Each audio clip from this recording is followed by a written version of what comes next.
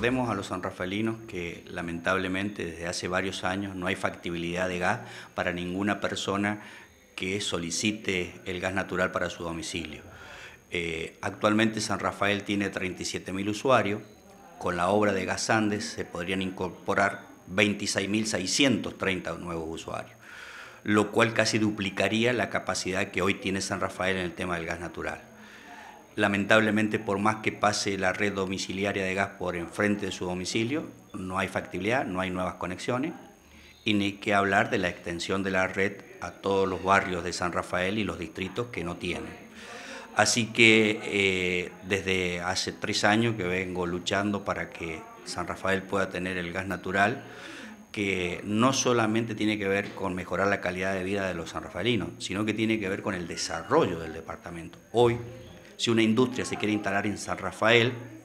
no se puede instalar porque no hay factibilidad de gas. Es más, hace un año una cristalería que necesitaba gas para su industria eh, no se pudo erradicar y eran 200 puestos de empleo. Es decir, que San Rafael perdió esa posibilidad por no tener gas natural.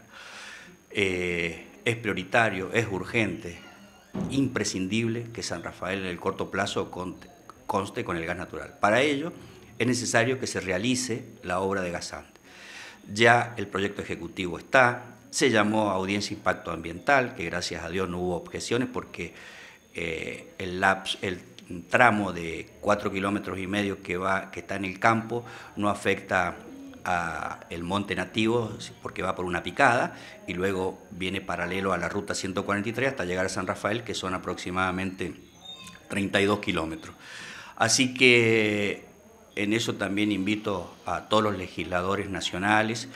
que por San Rafael, independientemente de su pertenencia partidaria, yo he estado en contacto con Federico Samarvide, y, está haciendo gestiones, pero acá necesitamos el apoyo de todos, e inclusive los legisladores por Mendoza, no solamente San Rafael, por todos los, de todos los partidos políticos,